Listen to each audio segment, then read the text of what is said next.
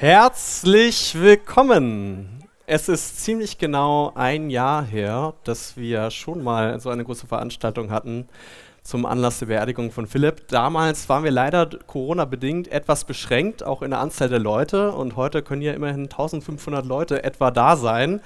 Und da möchte ich an dieser Stelle erstmal ein ganz großes Dankeschön an die Stadt Funkstadt aussprechen, die das ermöglicht, den Bürgermeister Patrick Koch, aber natürlich auch an alle beteiligten Behörden, an die Helfer, die das hier alles mit geleistet haben und aufgebaut haben und schließlich an Sie und euch fürs Kommen.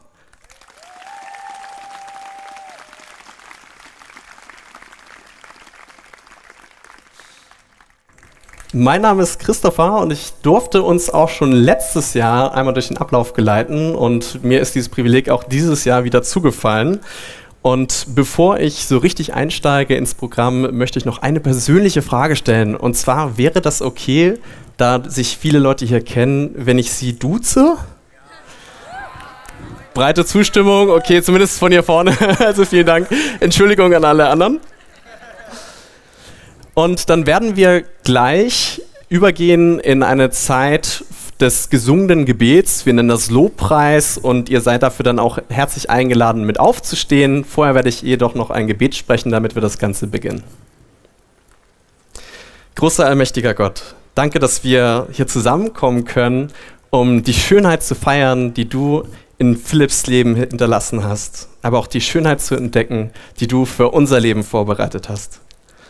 Wir bitten dich, dass du heute an diesem Tag mitten unter uns bist. Schenk uns deine Gegenwart in deinem Namen. Amen.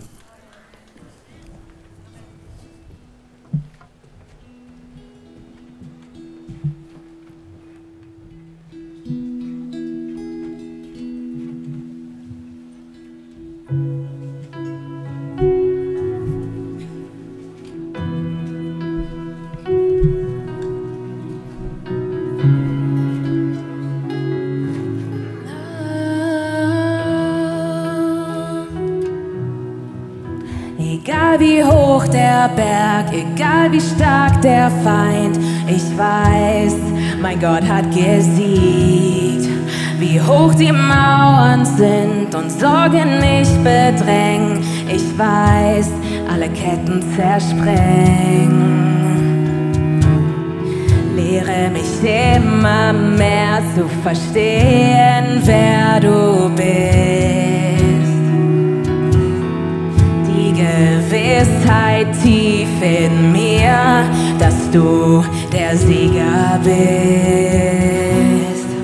Ja, ich weiß, mein Gott ist größer, er hält alles in der Hand. Und ich weiß, er kämpft meine Kämpfe,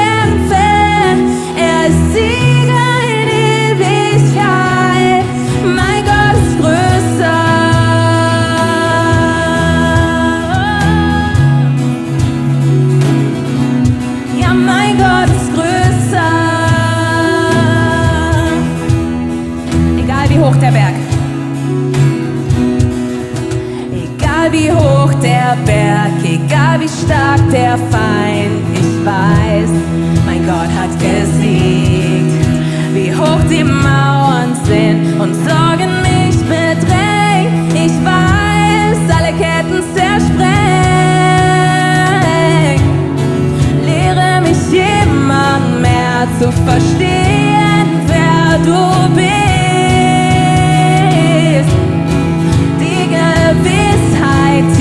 in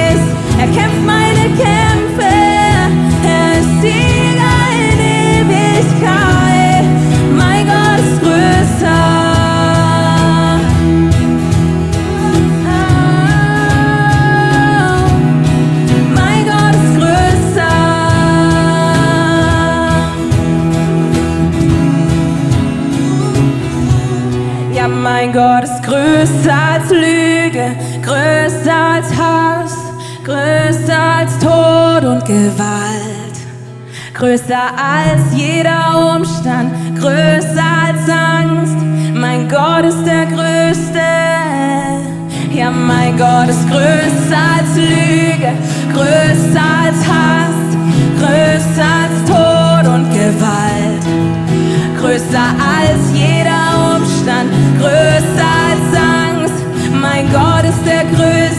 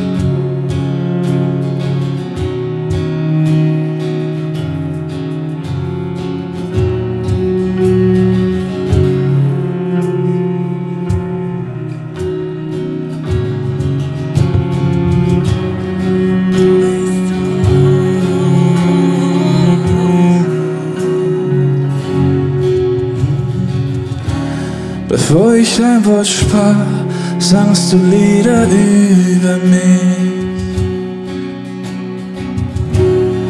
Du warst schon immer gut zu mir. Du hast mich geformt, mir Leben eingehaucht. Du warst schon immer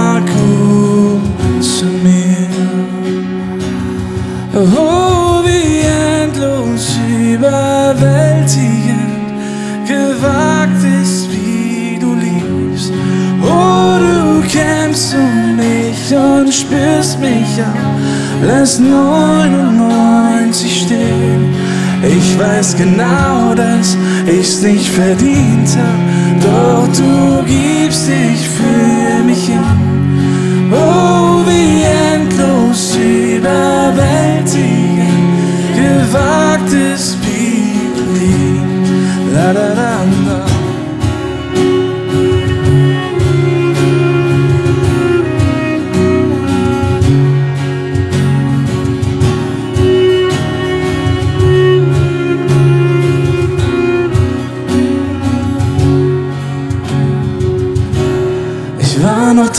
Feind, doch du hast gekämpft für mich.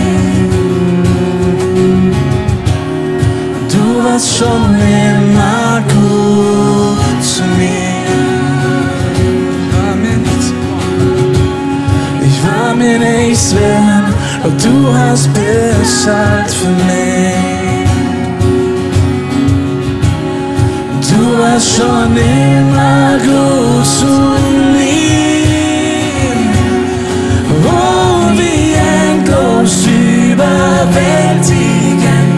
Gewagt ist, wie du lebst. Oh, du kämpfst für mich und spürst mich an, lässt 99 stehen.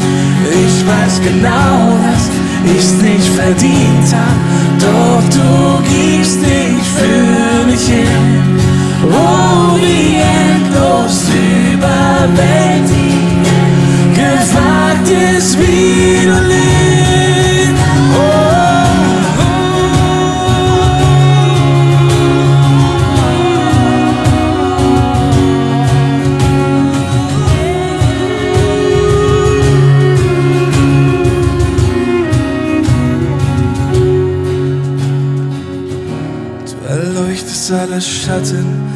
erklimmst alle Berge, um mir nachzugehen. Zerstörst alle Mauern, vertreibst alle Lügen, um mir nachzugehen. Und das ist unser Gott. Du erleuchtest alle Schatten, erklimmst alle Berge, um mir nachzugehen. Zerstörst alle Mauern, vertreibst alle Lügen, erleuchtest alle Schatten, erkennst alle Berge, um mir nachzugehen. Zerstörst alle Mauern, vertreibst alle Lügen, um mir nachzugehen. Du erleuchtest Gott. Du erleuchtest alle Schatten, erkennst alle Berge, um mir nachzugehen. Zerstörst alle Mauern, vertreibst alle Lügen, nachzugehen. Oh, wie endlos überwältigen, gewagt ist, wie du bist. Oh, du kämpfst für mich und spürst mich auf, lässt 99 stehen. Ich weiß genau, dass ich's nicht verdient hab, doch du gibst dich für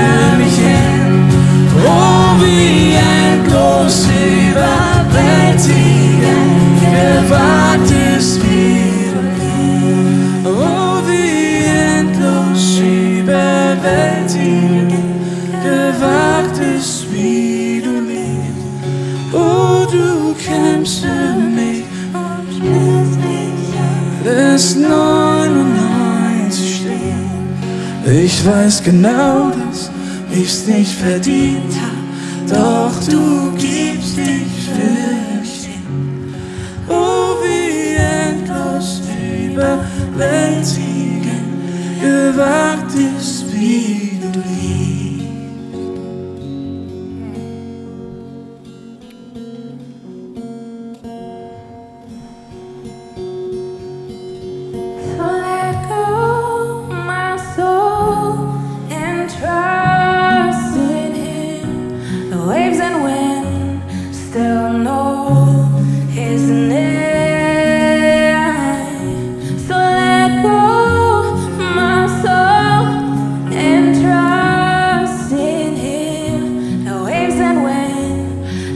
don't know.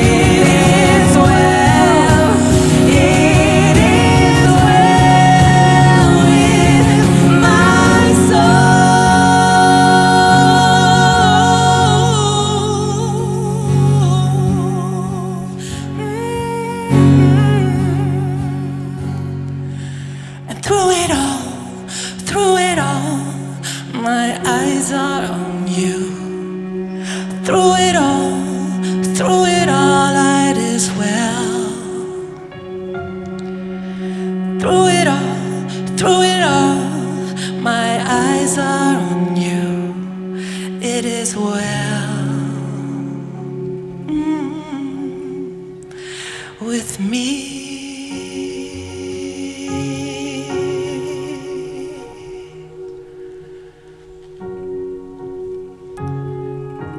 Heute schauen wir auf dich, Jesus. Du bist das, was wir brauchen an diesem besonderen Tag. Du hier bist.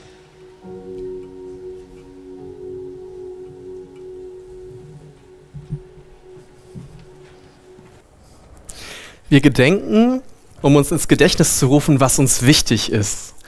Und wer die Bibel kennt, das ist dieses Buch mit der Geschichte von Gott und seinem Volk, weiß, dass auch darin immer wieder Gedenkstätten auftauchen, damit die Israeliten sich daran erinnern, was Gott für sie getan hat.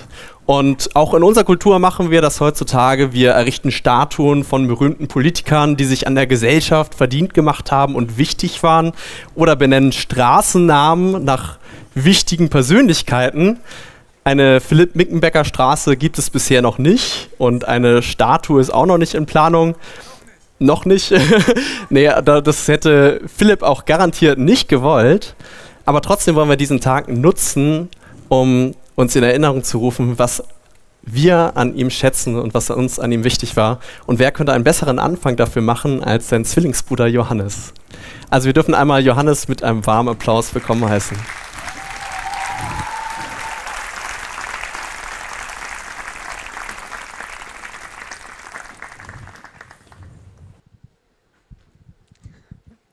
Hi, erstmal äh, ganz, ganz vielen Dank, dass ihr alle gekommen seid.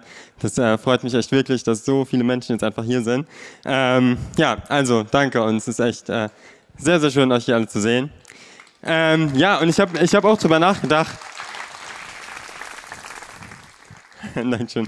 Ähm, ich habe darüber nachgedacht, was ich, äh, was ich erzählen soll oder was das ist, was mir von Philipp am meisten äh, hängen geblieben ist, ähm, was mich am meisten inspiriert hat. Und es sind einfach, äh, einfach so viele tausend Sachen und ähm, es ist auch irgendwie schwer in, in Worte zu fassen. Ich glaube auch, weil wir ja, also es, es, war nicht so, dass ich jetzt die eine, das eine Erlebnis hatte oder sowas. Ähm, aber es gab tatsächlich eine Zeit, wo, äh, weil wir haben, wir haben wirklich gefühlt alles zusammen gemacht. Ich glaube, es gab insgesamt zwei Wochen oder so, wo wir mal nicht zusammen waren. Äh, zwei Wochen eine sehr große Ausnahme, sonst haben wir echt jeden Tag zusammen verbracht. Und äh, das Einzige, was mir in den Sinn gekommen ist, was uns mal ein bisschen, wo wir ein bisschen unterschiedlich waren eine Zeit lang, ähm, was aber im Endeffekt denke ich sehr gut war und was ich, äh, was ich jetzt an ihm besonders zu schätzen war, weiß, dass er äh, war, dass er ähm, angefangen hat, als er ähm, sich mit, für Gott interessiert hat, als er angefangen hat, äh, die Bibel zu lesen und da seine Erlebnisse gemacht hat. Ich denke, viele von euch haben ja ein bestimmtes äh, Buch gelesen. Da war ich auf jeden Fall noch nicht, äh, noch nicht so weit und hatte da auch nicht so Bock drauf. Und äh, da war es dann immer so, dass Philipp sich Momente genommen hat, um mit diesem Gott zu sprechen. Und es war noch sehr, äh, sehr lange vor seiner ähm, dritten Diagnose, dass er sich wirklich morgens oft mal eine Stunde, mal zwei Stunden, wo wir eigentlich gedacht haben, ey, lass mal anfangen zu arbeiten, lass mal unser U-Boot bauen. Und Philipp war so, ja, lass mal, lass mal hier noch einen Spaziergang machen, irgendwie einen Bildspaziergang. Ähm, das gab es wirklich sehr oft, dass er sich da äh, Zeit für genommen hat. Und ich muss sagen, am Anfang hat mich das ein bisschen genervt. Und ich habe so gedacht, ja, muss das jetzt sein? Aber ähm, dann bin ich ja auch immer mehr in Berührung mit dem, äh, mit dem Glauben gekommen. Bei mir war es ein bisschen anders als bei Philipp.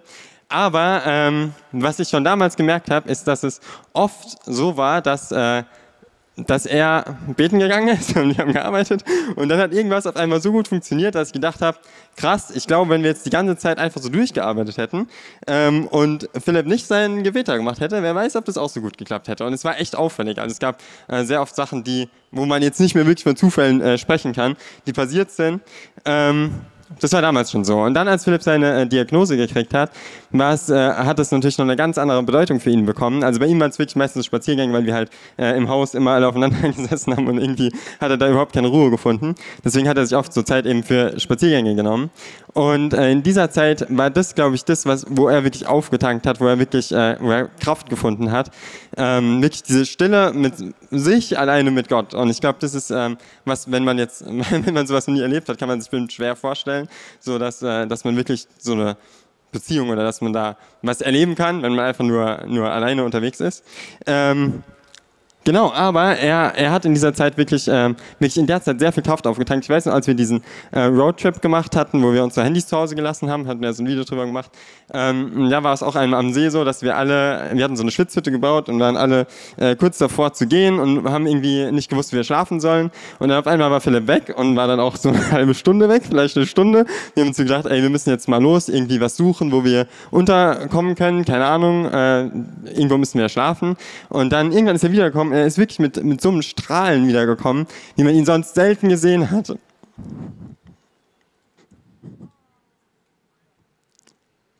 Und ich glaube, das ist auch das, was, was wir alle von ihm in Erinnerung behalten haben, was dieses, dieses Strahlen, diese Freude, wo man sich gedacht hat, es kann, es, es kann nicht einfach nur ein positives Denken sein, weil wie sollst du in so einer Situation auch positiv denken? Also es ist einfach schwierig. Und ähm, ja, die, diesem, mit diesem Strahlen ist er aus dem Wald gekommen und ich glaube, keiner hat sich getraut, ihm irgendwie äh, Vorwürfe zu machen, dass er jetzt eine Stunde weg war und wir alle warten. Und er, er war sich auch direkt ganz sicher, ja, ja, wir kriegen gleich einen Schlafplatz, kommen gleich Leute und äh, dann können wir dann schlafen. Und dann ist tatsächlich jemand um die Ecke gekommen, hat äh, mit uns geredet und ähm, ja, dann konnten wir bei dem alle mit, ich weiß nicht wie viele Leute wir waren, aber wir eine gute große Gruppe, dann konnten wir da unterkommen. Und ähm, ja, ich glaube, das war wirklich das, was, ähm, was ihm diese Kraft gegeben hat und auch dieses, dieses Strahlen, diese Lebensfreude, die er so, ähm, ja, die, die er so ausgestrahlt hat, wo wir uns, glaube ich, alle so dran erinnert haben, was so besonders war jetzt in der ganzen äh, schweren Zeit.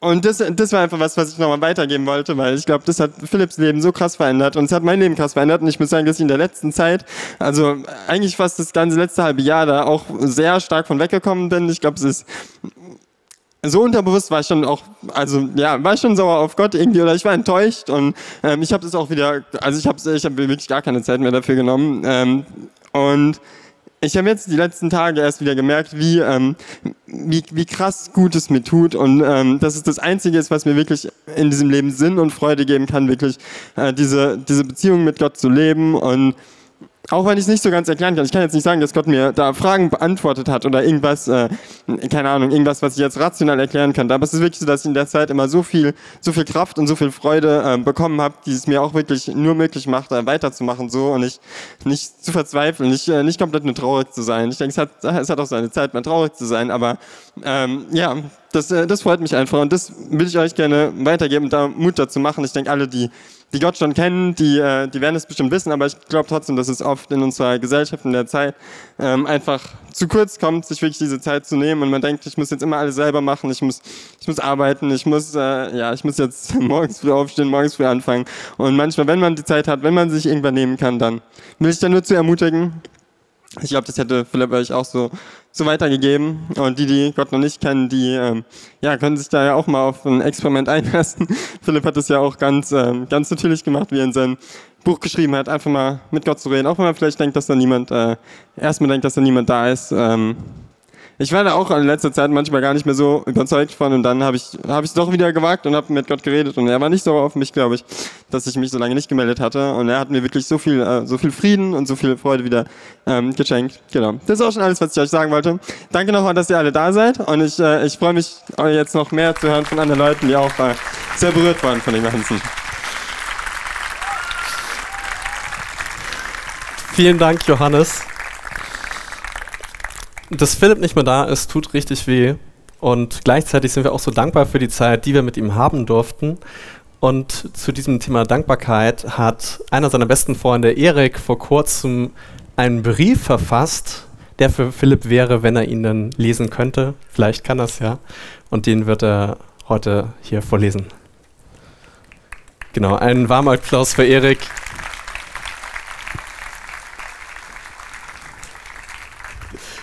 Auch äh, von mir vielen Dank, dass so viele Leute da sind. Das war immer so eine Eigenschaft von Philipp, dass er viele Leute zusammengebracht hat und auch unseren Freundeskreis.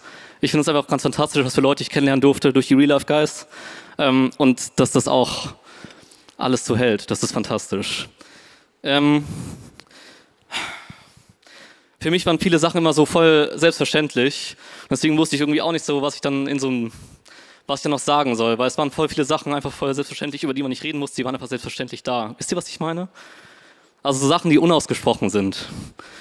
Ähm, ich habe einen Brief geschrieben. Lieber Philipp, hoffentlich geht es dir gut. Ich wollte mich noch einmal bei dir bedanken, denn das habe ich nicht oft getan. Das war auch gut so, über lange Zeit waren wir wie Brüder, uns hat nicht viele Worte gebraucht. Deswegen habe ich Frieden und trotzdem danke für sechs Jahre intensive Freundschaft und meinen Einstieg ins Real Life. Danke für die Herausforderungen und die daraus resultierenden Dankbarkeit für die alltäglichen Dinge. Danke für deine Zeit, deine Weisheit und deine Treue. Zum Schluss hätten Worte auch nicht mehr gereicht, um auszudrücken, wie dankbar ich für alles bin. Du warst so unfassbar tapfer. Obwohl du mit dir selbst genug zu tun gehabt hättest und alle anderen komplett mit deinem Schicksal überfordert waren, hast du die Stärke gehabt, für uns alle da zu sein. Danke, dass ich mich von dir verabschieden konnte und du es uns allen so leicht wie möglich gemacht hast. Ich hoffe, wir sehen uns wieder. Dein Erik.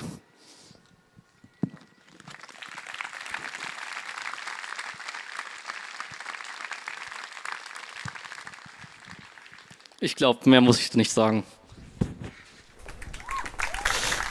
Danke dir.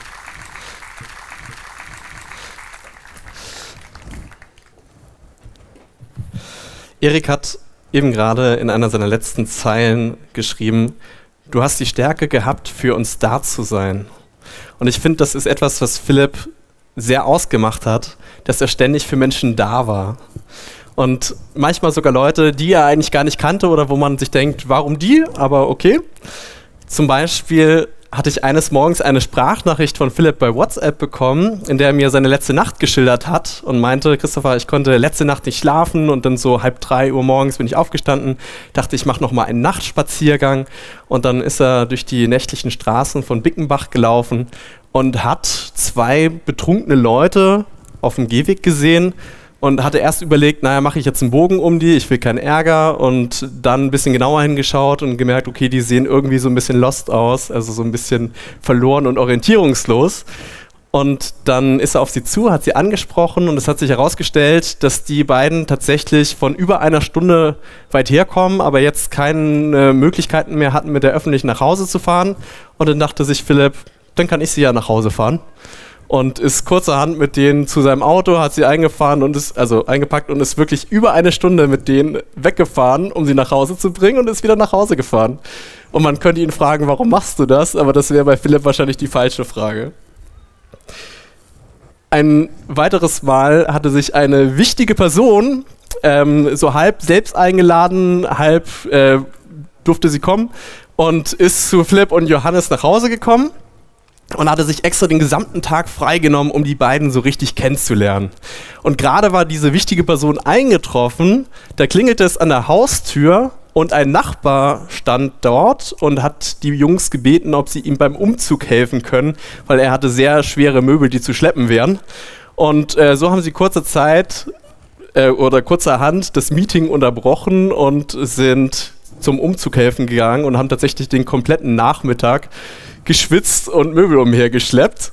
Und die wichtige Person kam sich da etwas vor den Kopf gestoßen vor und dachte, ich bin ja jetzt nicht gekommen, um beim Umzug zu helfen, sondern um sie kennenzulernen. Und ja, genau das hat sie auch getan. Sie kennengelernt. Und Philipp hat nicht nur in seinen guten Zeiten und seinen starken Zeiten immer wieder Zeit sich genommen, einfach so für Leute, egal welchen Ranges, egal aus welcher Herkunft, sondern vor allem, und das ist auch besonders beeindruckend, erst recht in seiner Schwachheit. Vor etwa zwei Jahren, äh, gegen Sommerende, Anfang Herbst, hatte er ja bereits das Rezitiv, also der Tumor, der wieder am Wachsen war, und es ging ihm zu dem Zeitpunkt gar nicht gut. Er hatte Atemprobleme und es war sogar so schlimm, dass Julius, einer seiner engen Freunde, der mit ihm zusammengelebt hat, zu dem Zeitpunkt schon meinte, wenn das so weitergeht, dann wird das nicht mehr lang. Und auch die Ärzte hatten zu dem Zeitpunkt ihm nur noch wenige Wochen zu leben gegeben.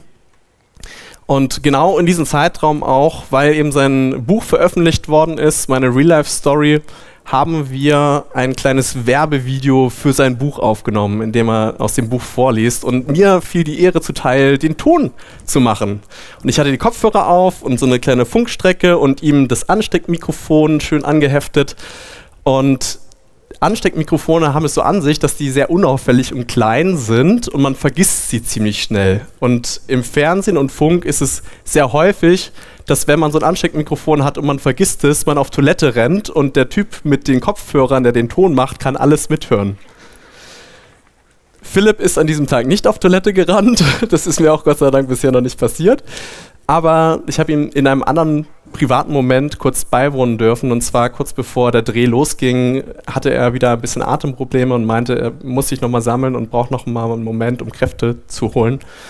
Und ich dachte mir zu dem Zeitpunkt, okay, wie er jetzt wohl Kräfte holt, ob er sich nochmal hinlegt, er nochmal Augen schließt oder so.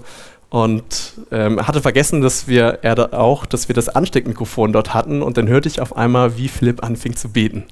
Und er betete leidenschaftlich und äh, wirklich so, obwohl er ja eigentlich schwer Luft bekommen hatte, trotzdem nicht ängstlich oder zittrig, sondern mit einer Bestimmtheit, mit einer Zuversicht, mit einem auch irgendwie festgehalten Gefühl, macht das Sinn, dass ich ja nicht konnte, als erstmal tatsächlich noch einen Ticken drin zu bleiben, bis ich ihm dann die Privatsphäre gegönnt habe und auch die Kopfhörer wieder rausgezogen habe. Aber ich fand es so bezeichnend, dass in diesem Moment, in dem es ihm schlecht ging, auch wie Johannes es eben gerade gesagt hat, Philipp nicht in irgendwelchen Hilf Selbsthilferatgebern oder Meditationsratgebern oder sonstiges aufgetankt hat, sondern Zeit mit Gott verbracht hat und daher seine Kraft geschöpft hat, um dann auch in seiner Schwachheit für Menschen da zu sein. Er konnte für Menschen da sein, weil Gott für ihn da war. Wir haben in seinen Hinterlassenschaften auch eine kleine Versliste entdeckt. Dort hatte Philipp sich Bibelverse notiert, die ihm Halt gegeben haben und Zuversicht in bestimmten Situationen. Und einer dieser Verse, die er sich dort notiert hat, ist aus Jesaja 40, Vers 29. Und darüber steht, wenn ich überfordert bin, bei ihm in seinen Notizen.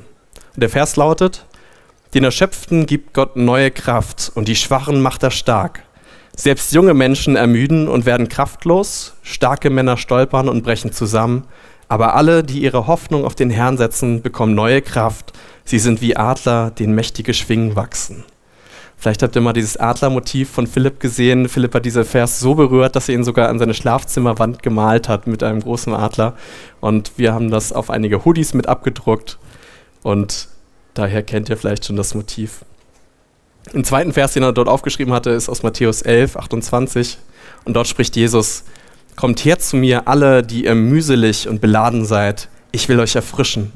Nehmt auf euch mein Jocht und lernt von mir, denn ich bin sanftmütig und von Herzen demütig. So werdet ihr Ruhe finden für eure Seelen, denn mein Joch ist sanft und meine Last ist leicht. Philipp hat diese Verse immer wieder auch im Gebet für sich bewegt und seinen Rucksack dort abgelegt, seine Last dort abgelegt. Und es gibt auch ein Lied, was er dabei gehört hat. Er hat viele Lieder gehört, aber ein Lied, was ihn dabei auch besonders bewegt hat, so sehr, dass er zwei Tage bevor er verstorben ist, extra Savia, die heute auch mitsingt, hier in dem Blümchenkleid bezaubernd aussieht, geschrieben hat, ob sie ihm das nochmal als A Cappella-Version aufnehmen könnte und schicken könnte. Und dann hat Philipp zwei Tage bevor er gestorben ist und vielleicht auch in den letzten Stunden dieses Lied gehört. Und damit wir das nochmal nachempfinden können, was er dort empfunden hat, werden wir auch dieses Lied hören. Unter anderem mit Savia, aber auch mit Salvo, der Songwriter dieses Liedes, der auch heute mit da ist. Vielen Dank.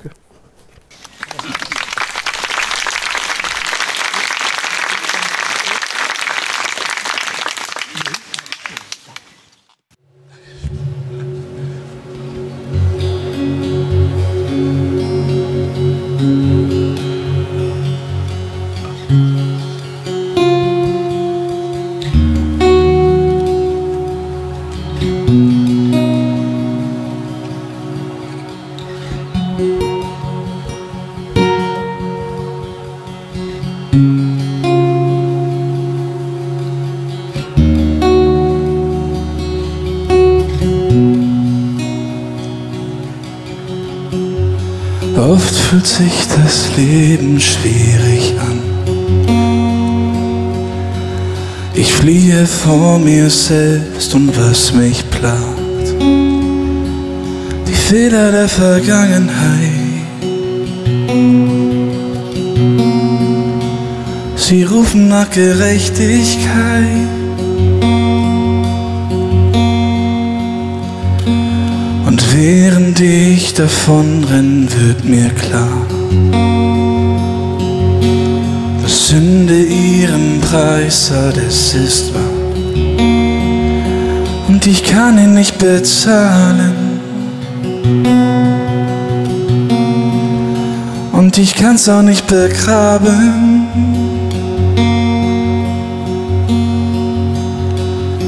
Doch tief in meinem Herz, viel tiefer als der Schmerz, seh ich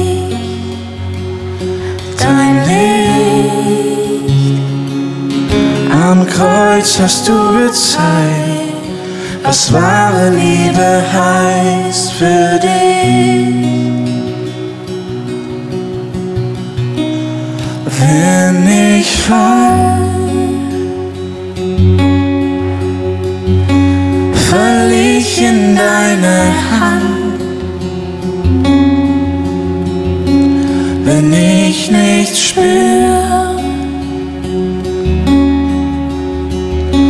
dann glaub ich fest daran. Ich lass mich fallen. zerbrochen wie ich bin. In deine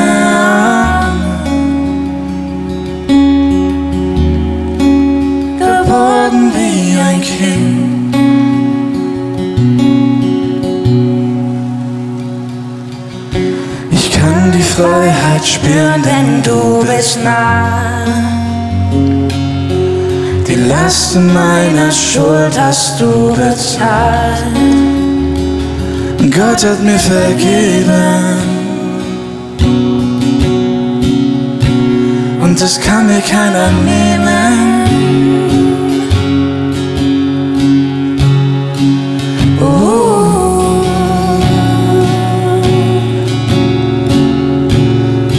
Du hast mir vergeben. auch wenn ich fall.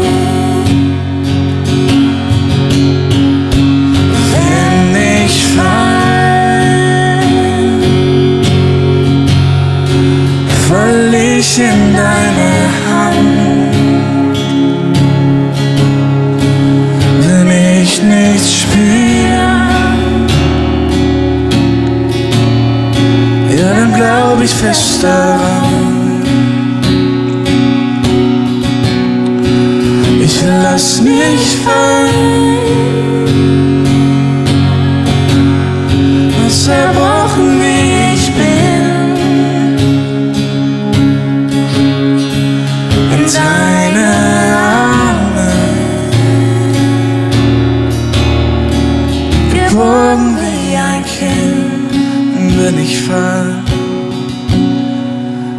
wenn ich fall fall ich in deine Hand. Wenn ich nicht spüre, dann glaub ich fest daran. Ich lass mich fallen zerbrochen wie ich bin. in deine Arme, geborgen wie ein Kind, zerbrochen wie ich bin, zerbrochen wie ich bin. Vergeben durch den Sohn. gereinigt durch sein Blut, geheiligt durch das Kreuz, gefestigt durch sein Wort, erfüllt mit seinem Geist, offen und befreit. Auch wenn ich fall.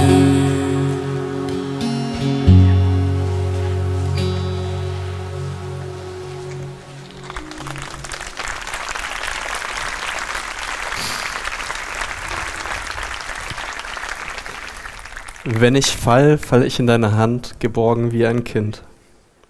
So eine Nähe, so ein getragen fühlen und auch so ein Vertrauen hat Philipp ergriffen von der Liebe Gottes erlebt, dass er so begeistert davon auch andere Menschen daran teilhaben lassen wollte und gar nicht verstehen konnte, warum nicht noch mehr Menschen dem sofort nacheifern würden. Und er hat echt sein Bestes gegeben, diese Botschaft rauszubringen, dass Gott an dir Interesse hat, dass er dich liebt, dass er für dich da sein möchte. Dass er auch tausende Menschen darin inspiriert hat und stellvertretend für diese tausende Menschen ist heute auch eine Person mit dabei, die ihre Geschichte mit uns teilen wird, wie sie in Schwierigkeiten war, dann erst von Philipp erfahren hat und später auch diese Liebe Gottes kennengelernt hat. Ein warmer Applaus für Jasmin.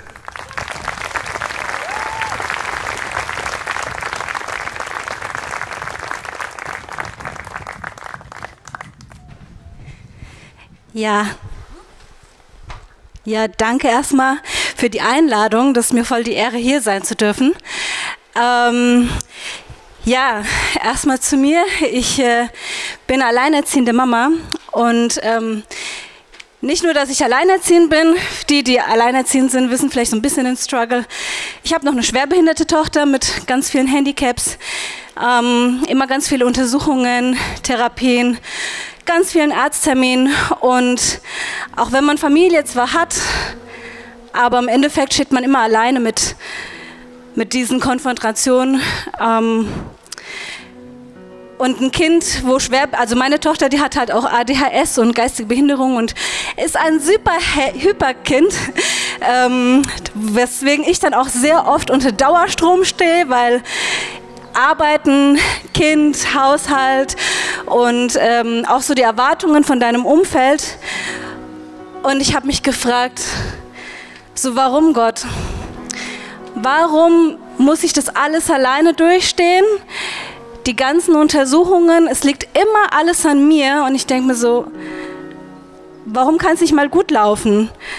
Ähm, zehn Jahre hatte ich wirklich richtig Depressionen, Panikattacken, Hypertonie und ich war richtig verbittert. Ich hatte keine Lust auf Freunde. Ich kenne so viele Menschen, aber ich hatte nie die Lust, was mit Menschen zu unternehmen nach der Arbeit immer zu Hause. Meine Familie hat schon immer gesagt, ja, unternimm doch mal was. Und ich war immer so, nein, keine Lust. Und ich habe mich gefragt, was ist denn der Sinn des Lebens überhaupt? Ganz oft kam ich an den Punkt, wo ich gedacht habe, ja, ich weiß, meine Tochter braucht mich, aber irgendwie, ich kann nicht. Ich bin total down und mir oft gedacht so, ey, es wäre doch so viel einfacher, wenn ich jetzt einfach mit allem Schluss machen würde. Und als ich dann die Geschichte von Philipp gesehen habe, ähm, sein Zeugnis und die ganzen Zeichen und die Wunder, die passiert sind und das, was er durchgegangen ist, einfach wie stark er in seinem Glauben war. Und ich und er einfach, ja, wie wir schon gehört haben, dieses Strahlen von ihm. Und ich dachte mir so, wow, es ist so krass, das würde ich auch so gerne leben. Meine Beziehung mit Gott war so, naja, mal habe ich an Gottes Tür geklopft. Und manchmal dachte ich mir so, ach Gott, den kann es ja gar nicht geben, weil sonst wäre ich jetzt nicht wieder down und dann würde nicht wieder die nächste Down-Phase kommen. Und durch Philipps Story, das einfach zu sehen, wie angstfrei er war und ohne Sorgen durchs Leben, wie er schon gesagt hat, macht euch keine Sorgen um den morgigen Tag, dachte ich mir so, boah, richtig krass. Und zu sehen, wie Philipp da wirklich so einen tiefen Glauben an Gott entwickelt hat und Beziehung und wie er durch Gemeinschaft da so durchgetragen wurde. Und ich habe dann ähm, irgendwann eine Gemeinde gefunden und ähm, ich habe dann auch angefangen, mal Beziehung mit Gott zu bauen. Ich dachte mir so, hey, why not? Angefangen, der Bibel zu lesen, ähm, zu beten und mir persönlich ist immer so, wenn es mir halt richtig schlecht geht, dass ich mich hinknie und Lobpreis anmache und einfach weine und sage, Gott, jetzt brauche ich dich.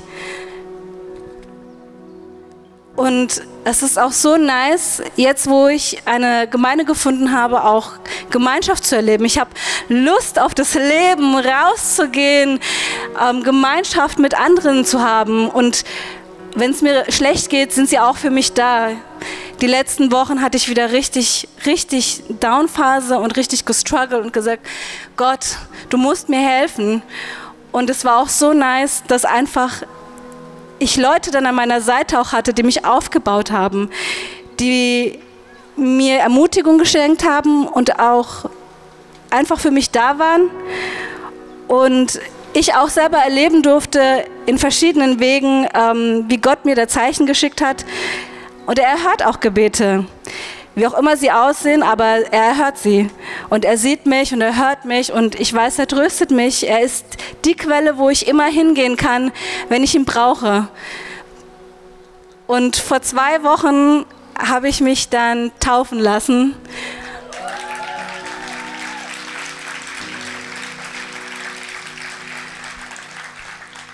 Und einfach, dass Philipp auch andere Menschen wie auch mich dazu ermutigen und auch zu Gott führen.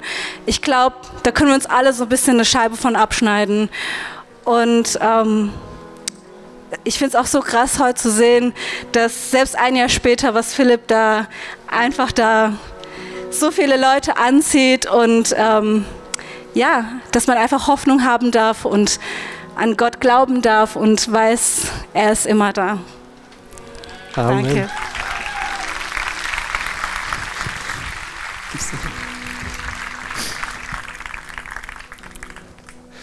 Philipp und Jasmin haben beide erlebt, wie Gott in schwierigen Zeiten für sie da war, wie er sie gehalten und getragen hat, sie aufgefangen hat, wenn sie gefallen sind. Und ich habe mich auch gefragt, ob sich nicht vielleicht jemand anders fragt, ob Gott ihn am Ende nicht doch hat fallen lassen. Schließlich ist so eine Krebserkrankung und auch ein Tod mit 23 ja eigentlich nichts, was man irgendjemandem wünschen würde. Aber eine Sache weiß ich ganz, ganz sicher, da habe ich nicht den Hauch eines Zweifels, dass er nicht mal für einen Bruchteil einer Sekunde ihn losgelassen hat, sondern dass er ihn jetzt noch fester in seinen Armen hält als je zuvor. Und das weiß ich nicht aus unbedingt Verstand. Vielleicht kann man sich auch viel anlesen und es gibt auch sehr viele gute Argumente für den Verstand, aber meistens ist nicht der Verstand der Teil, der nicht glauben kann, sondern das Herz. Und ich möchte, um das so ein bisschen zu illustrieren, für unser Herz, wie vielleicht dieses Hinübergehen gewesen sein kann, eine kurze Geschichte vorlesen von einem Zwillingspaar, das ist also sehr passend, das sich im Bauch ihrer Mutter unterhält. Und da sagt das eine Zwilling zum anderen, glaubst du eigentlich an ein Leben nach der Geburt? Ja, ich denke schon, dass es das gibt. Unser Leben hier ist doch nur dazu gedacht, dass wir wachsen und uns auf dieses Leben nach der Geburt vorbereiten. Vielleicht, damit wir stark genug sind für das, was uns erwartet. Ach was, ich glaube nicht, dass es das wirklich gibt. Wie soll denn das überhaupt aussehen, so ein Leben nach der Geburt? Naja, das weiß ich auch nicht so genau. Aber es wird sicher heller sein als hier. Und vielleicht werden wir herumlaufen und werden mit dem Mund essen. So ein Unsinn. Herumlaufen geht doch gar nicht. Und mit dem Mund essen, wir haben doch die Nabelschnur. Doch, das Ganze geht bestimmt. Es wird eben alles nur ein bisschen anders. Woher willst du das wissen? Es ist noch nie einer zurückgekommen von nach der Geburt. Und mit der Geburt ist das Leben zu Ende. Danach ist alles finster und vorbei auch wenn ich nicht genau weiß, wie das Leben nach der Geburt aussieht, jedenfalls werden wir dann unsere Mutter sehen und sie wird für uns sorgen. Mutter? Du glaubst an eine Mutter? Wo ist denn die Mutter? Na hier, überall um uns herum. Wir sind und leben in ihr und durch sie und ohne sie können wir gar nicht sein. So ein Käse, von einer Mutter habe ich bisher noch nichts gemerkt. Doch manchmal, wenn wir ganz still sind, kannst du sie singen hören oder spüren, wie sie unsere Welt streichelt. Und Philipp hat immer wieder in seinem Leben Gott singen gehört und gespürt, wie er seine Welt berührt und gestreichelt hat und für ihn da war. Und ich habe das in meinem Leben erlebt. Ich glaube, viele hier Anwesenden haben das auch bei sich erlebt. Und das ist dieses, dieser Klang der Eltern, die einem die Gewissheit geben, okay, wenn ich rausgehe, dann wartet dort nicht Finsternis und Einsamkeit, sondern dann warten dort die Arme meiner Eltern. Und ich habe vor einem halben Jahr eine Tochter bekommen und wisst ihr, was ich gemacht habe? Direkt nachdem sie geboren war, ich habe sie in den Arm genommen und ich habe sie gestreichelt und es war so unglaublich schön. Und ich habe gar keinen Zweifel, dass es mit unserem himmlischen Vater genauso ist.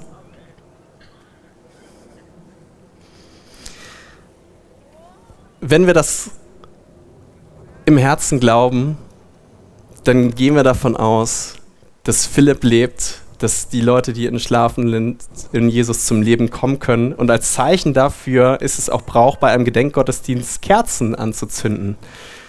Denn das Licht, was dort lodert, ist ein Zeichen dafür, dass der doch nicht erloschen ist, dass die Finsternis nicht das letzte Wort hat, sondern das Licht und Leben lodert. Und ihr habt alle eine E-Mail bekommen mit der Benachrichtigung, doch bitte Gläser mitzubringen mit einer Kerze. Die könnt ihr jetzt auspacken und wir werden dann während des kommenden Liedes diese Kerzen anzünden und dort vorne in diesen vorgesehenen Bereich hineinlegen. Und wenn viele Leute dem Ruf gefolgt sind, dann schaffen wir es vielleicht, dort etwas über 1000 Kerzen hineinzustellen, die symbolisch für das Leben der Entschlafenen stehen, aber auch das Leben, das Philipp jetzt in sich hat.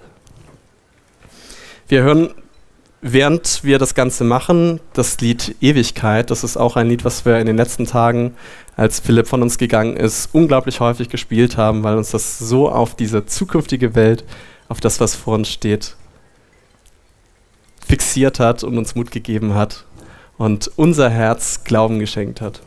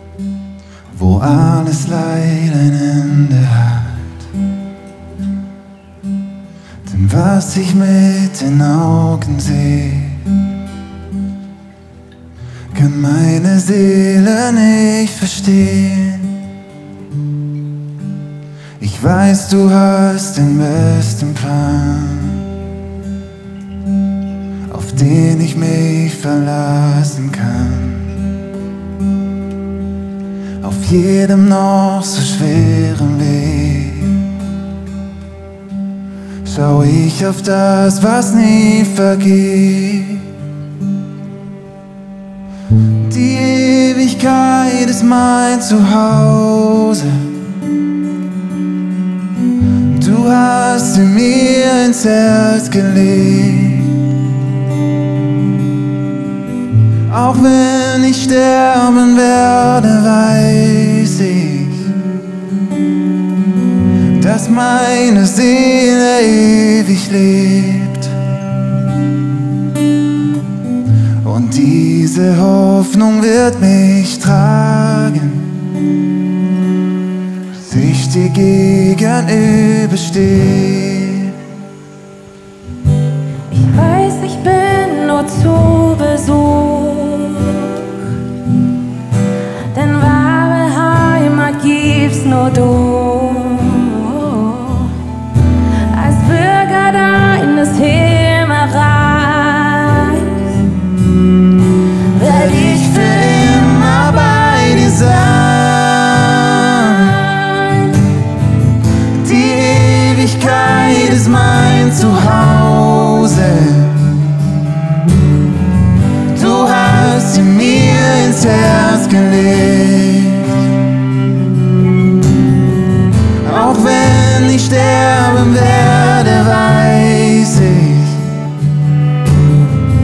Dass meine Seele ewig lebt.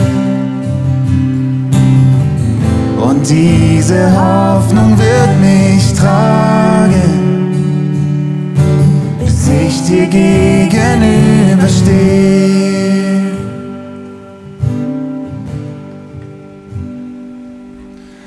Fokus auf die Ewigkeit leb ich für das, was ewig bleibt. Das Ziel vor Augen Tag für Tag, bis ich den Lauf vollendet hab.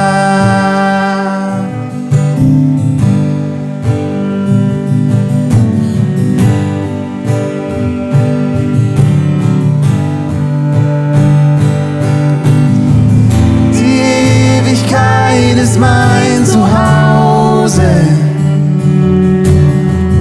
Du hast sie mir ins Herz gelegt. Auch wenn ich sterben werde, weiß ich, dass meine Seele ewig lebt. Und diese Hoffnung wird mich tragen, gegenüberstehe. Oh.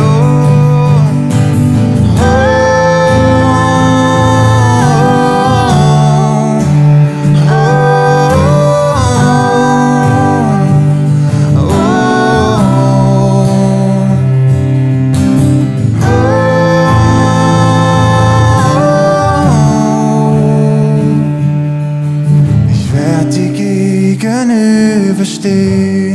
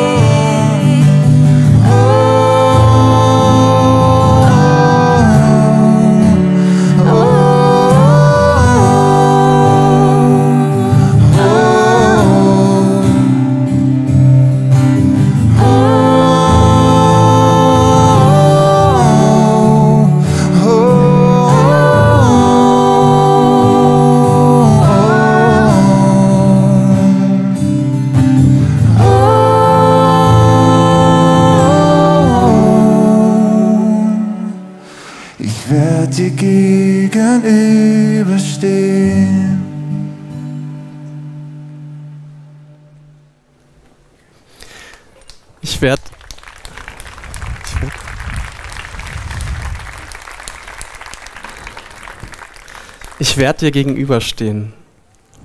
Das ist das Allerschönste, auf das man sich freuen kann, wenn die Schöpfung schon so wunderschön ist, dass wir sie hier genießen dürfen und auch viele Leute sind im Zelt angekommen, werden heute in der Natur verbringen. Wenn das schon so toll ist, wie viel mehr ist dann der Künstler, der das alles gemacht hat und wie unglaublich umwerfend wird es sein. Wir haben diese Kerzen kreuzesförmig angeordnet, weil das Kreuz der Schlüssel zu dieser Schönheit Gottes ist. Und da mögen sich viele denken, Kreuz, das ist ja eigentlich ein Folterinstrument. Dort wurden Leute grausamst und brutalst hingerichtet. Warum eigentlich das Kreuz?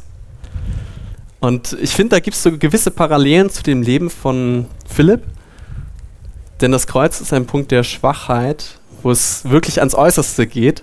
Und als wir in den letzten zwei Stunden von Philipps Leben bei ihm waren, ich habe selten einen Mensch gesehen, der so schwach war wie er, völlig bleich, kaum Luft bekommen, war am Verbluten und gleichzeitig der so stark war wie er. Ich glaube, das war der stärkste Mensch, dem ich jemals in die Augen geblickt habe. Mit diesem Strahlen, das Philipp typisch ist, auch dort im Angesicht des Todes und mit seinen Freunden zusammen. Und wenn ich ans Kreuz blicke, dann sehe ich etwas Ähnliches. Dann sehe ich auch einen Gott, der sich hat bespucken lassen, verspotten lassen, dem Nägel durch die Nervenenden seiner Hände und seiner Füße gegraben worden sind und der dort in absoluter Schwachheit hängt. Und in 1. Korinther 24 heißt es, und dennoch erfahren alle, die von Gott berufen sind, gerade in diesem gekreuzigten Christus Gottes Kraft und Gottes Weisheit. Was Gott getan hat, übersteigt alle menschliche Weisheit, auch wenn es unsinnig erscheint. Und was bei ihm wie Schwäche aussieht, übertrifft alle menschliche Stärke. Und was bei Philipp wie Schwäche ausgesehen hat, hat alle menschliche Stärke übertroffen, die ich kenne. Und was bei Jesus am Kreuz wie menschliche Schwäche ausgesehen hat, war der größte Triumph der Geschichte. ich finde es so unglaublich. Also man kann sich die Schmerzen gar nicht vorstellen, die man hat, wenn man Nägel durch Hände und Füße gegraben bekommt und die Knochen zersplittern und die Nerven werden durchtrennt und die Sehnen und Muskeln reißen. Aber dann in dieser wirklich unglaublichen Qual noch zu beten, wie Jesus gebetet hat, Vater, vergib ihnen, denn sie wissen nicht, was sie tun. Für Vergebung, für die Leute zu beten, die ihm eigentlich Böses angetan haben, ich finde, das ist wahre Größe und wahre Stärke, die er dort in seiner Schwachheit gezeigt hat. Und Vergebung ist dort nicht nur einfach so ein schönes Wort, sondern Vergebung ist Programm. Dort am Kreuz versöhnt Gott die Welt mit sich selbst. Und einige Leute sehen an diesem Kreuz nur Schwachheit und ein Krückstock für Menschen und andere erfahren dort eine Schönheit und eine Freiheit, die man wirklich in seinem eigenen Leben erleben muss. Und ich weiß nicht, ob es historisch so war, aber ich vermute, dass es so ist und ich glaube dran, dass Jesus mit zwei anderen Leuten gekreuzigt worden ist, einer zu seiner Linken und einer zu seiner Rechten und das heißt, dass sie Verbrecher waren und einer von den beiden Verbrechern sieht Jesus Schwachheit und sagt, bist du nicht der Christus, der kommen sollte, um Israel zu retten? Hilf dir selbst und uns. Und der andere auf der anderen Seite richtet sich an den anderen Verbrecher und sagt, wir empfangen, was unsere Taten verdienen, dieser aber hat nichts Unrechtes getan. Und er sprach, Jesus, gedenke an mich, wenn du in dein Reich kommst. Und Jesus sprach zu ihm, wahrlich, ich sage dir, heute wirst du mit mir im Paradies sein.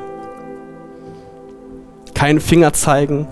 Der Verbrecher sagt, er ist dort zurecht, er hat das bekommen, was er verdient hat. Und Jesus sagt nicht ein einziges urteilendes Wort und sagt, ja, dein Lastenregister ist wirklich ganz schön lang, was können wir da noch machen?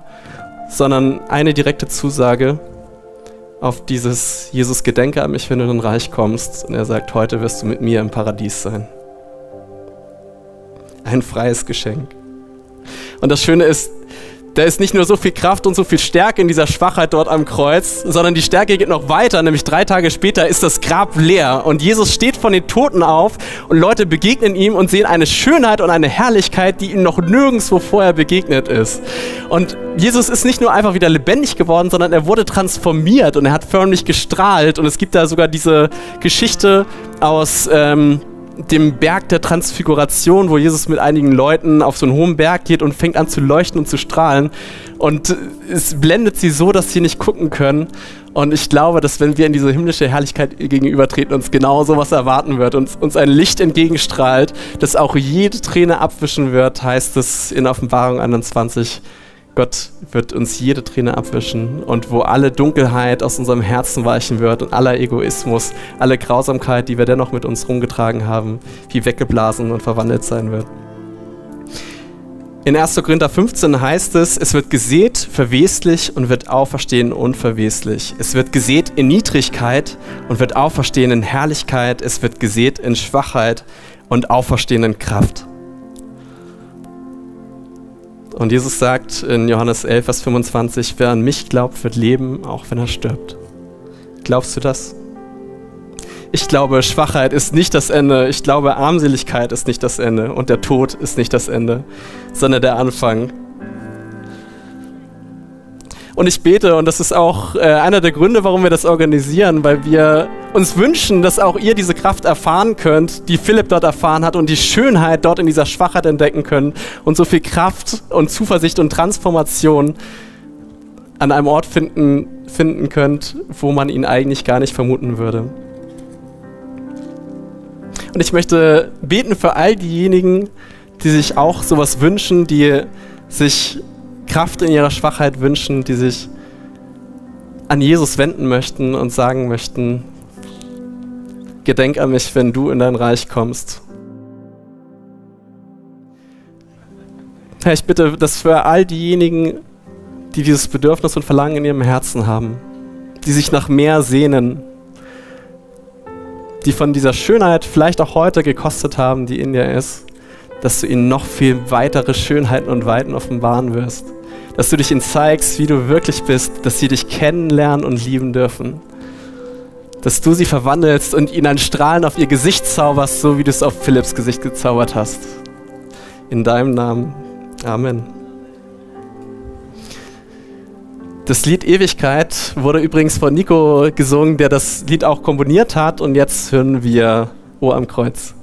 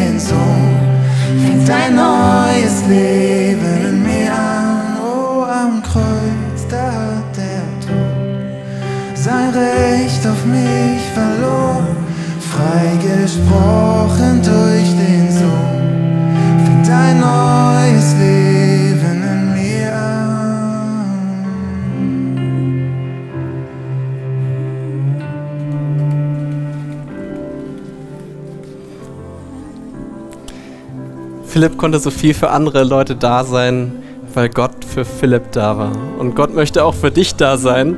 Und du bist ihm unendlich wertvoll, und unendlich wichtig und er würde dir jederzeit beim Umzug helfen. Auch ein Umzug in ein neues Leben. Gott möchte auch für die Leute da sein, die im letzten Jahr immer wieder in Trauer waren und immer wieder bewegt worden sind durch das, was passiert ist. Und ich möchte auch für diese Leute jetzt ein Gebet sprechen. Himmlischer Vater, danke, dass du Philipp bei dir aufgenommen hast, dass du ihn fest in deinen Armen hältst, dass er in der Gegenwart deiner Schönheit sein darf, dass du dich um ihn kümmerst und es keinen liebevolleren und schöneren Ort gibt.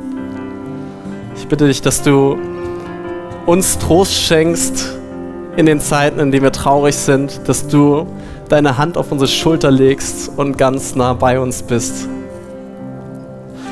Hilf uns auch, die Schönheit zu erkennen, die Philipp jetzt sehen darf. Und hilf uns auf dem Weg dahin, dich mehr zu lieben, dich mehr kennenzulernen und dir mehr zu vertrauen. Amen. So viele unglaublich schöne Leute, das lädt doch gerade dazu ein, dass wir noch einen gesamten Tag hier verbringen. Trotzdem wollen wir diesen Gottesdienst nicht beenden, um gemeinsam für alle, die das Gebet kennen, das Vaterunser zu sprechen. Und wer dafür noch nicht sowieso schon steht, darf dann noch gerne aufstehen. Vater unser im Himmel, geheiligt werde dein Name, dein Reich komme, dein Wille geschehe, wie im Himmel so auf Erden. Unser tägliches Brot gib uns heute und vergib uns unsere Schuld, wie auch wir vergeben unseren Schuldigern. Und führe uns nicht in Versuchung, sondern erlöse uns von dem Bösen. Denn dein ist das Reich und die Kraft und die Herrlichkeit in Ewigkeit. Amen.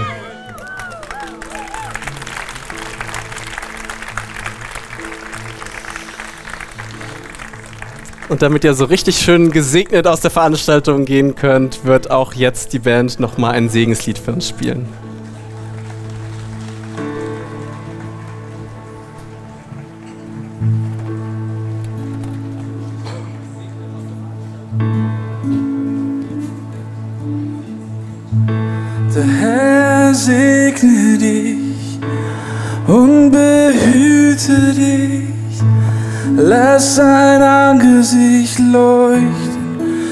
Sei gnädig mit dir. sein Angesicht sei dir zugewandt, Friede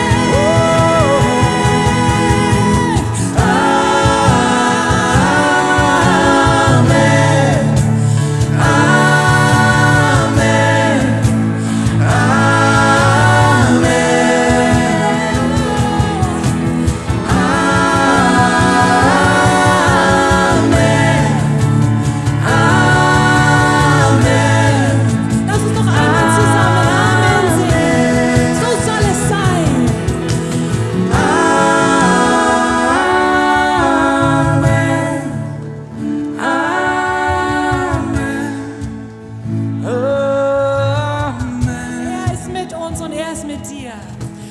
Amen. Amen. Amen.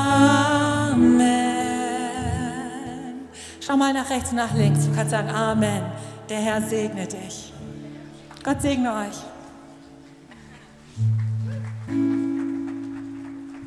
Ich bin so froh, Philipp seine Geschichte und seine ganzen Erfahrungen und seine Auf- und Abs mit seinem Glauben mit uns geteilt hat. Ich habe dadurch so zu meinem Glauben wiedergefunden und hatte seitdem so viele schöne Erlebnisse mit Gott und ich bin ihm dafür einfach unendlich dankbar. Und zwar leide ich schon seit äh, ein paar Jahren an einer Krankheit, die letztes Jahr so schlimm wurde, dass ich die ganze Zeit daheim bleiben musste und ganz oft im Krankenhaus war. Es war einfach so ermutigend, wie, wie er gesagt hat, Gott lässt es nicht zu, ohne dass ein Plan dahinter ist. Und ja, ein gutes Jahr später äh, kann ich einfach wieder Sport machen, kann einfach wieder ja, beinahe alles machen und bin ihm mega dankbar. Für mich war das eine me- mega ermutigende Story. wie er mit dem Thema Krebs, Tod und Gott und Glaube und allem dem umgegangen ist. Und das hat mich irgendwie total inspiriert und ermutigt. Ich hatte vor knapp einem halben Jahr Krebs. Ich habe beim Krebs ging es ziemlich schlecht und der hat sich halt dann ermutigt, weiterzumachen, zu kämpfen gegen den Krebs. Das habe ich richtig toll gefunden. Philipp hat mich ermutigt, mit seiner Geschichte nicht aufzugeben und dass auch ich wertvoll bin. Ich habe durch Philipp meinen Glauben einfach wieder gefunden und ich bin so dankbar dafür, dass Philipp so offen darüber geredet hat. Philipp war wirklich ein ja, Vorbild für mich. Ich habe mich wegen meiner Krankheit sehr eingedrückt quasi gefühlt, hatte immer Angst, dass irgendwie meine Krankheit wieder schlimmer wird. Und dann habe ich aber gemerkt an Philipp, dass er trotz allem Mut hatte und wirklich stark war. Und das hat mich wirklich beeindruckt. Dass er kein normaler YouTuber war wie jeder andere, sondern dass er halt einfach was rübergebracht hat bei seinen Videos, dass man keine Angst haben braucht vor, vor dem Tod. Er war ein guter Junge, er war sehr inspirierend. Ich muss sagen, ich fand es einfach crazy, wie positiv er die ganze Zeit geblieben ist, trotz seiner Krankheit. Also es hat ihm quasi aus allen Knopflöchern geschienen, die Lebensfreude und unsere Lust. Es ist nicht so lange her, da habe ich mich selber für komplett wertlos gehalten und mein Leben total sinnlos empfunden und war auch kurz davor, es wegzuwerfen. Der Austausch mit ihm damals hat mir dabei geholfen, wieder auf einen neuen Weg zu finden. Ich habe an meinen ganz eigenen Glauben gefunden, an den Glauben an die Sinnhaftigkeit im Leben und daran, dass ich selber wertvoll bin und dass mein Leben wertvoll ist. Philipp hat mich außerdem noch gelehrt, dass Dinge nicht ohne Grund im Leben passieren und dass aus allem Schlechten auch wieder Gutes entstehen kann. Es war einfach unglaublich, was er ausgestrahlt hat. Man hat ihm es einfach sofort abgenommen, dass er eine Beziehung zu Jesus hat und dass er daraus lebt, ohne die ganzen Vorgaben und Formen, die Religionen oft so mit sich bringen und Traditionen.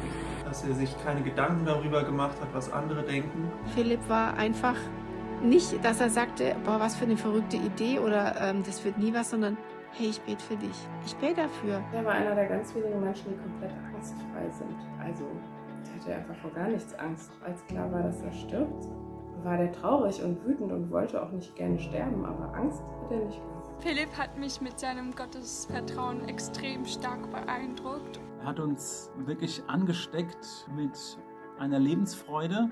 Und Philipp hat mich auch inspiriert, an meinem Baumhaus zu bauen und coole Dinge draußen zu machen. Philipp ist mit seinem Leben und seiner Krankheit in eine Situation geraten, wo, glaube ich, ganz, ganz viele Menschen einfach zerbrechen würden. Für mich ist es der absolute Wahnsinn. Es ist ein Vorbild. Es ist einer der inspirierendsten Persönlichkeiten unserer aktuellen neuen Zeit. Er hat uns daran erinnert, dass selbst wenn unsere Lebensumstände hart sind, unser Herz nicht hart sein muss sondern dass es weich sein kann, voll mit Liebe, Freude, Frieden, Barmherzigkeit. Und er war auch offen allen Menschen gegenüber. Er war ein unglaubliches Vorbild. Dass er so authentisch ist, dass er so er selbst ist und dass er sich nicht Gedanken darüber macht, was andere Leute über ihn denken. Der Philipp hat so gesprüht vor Leben. Philipp hat mir eigentlich dabei geholfen, eben die Lebensfreude wiederzufinden. Philipp hat mich ganz stark darin ermutigt, immer an Gott festzuhalten dass egal was für Umstände kommen, egal was für Nachrichten man bekommt, egal was für Situationen passieren, dass es sich lohnt, an Gott festzuhalten.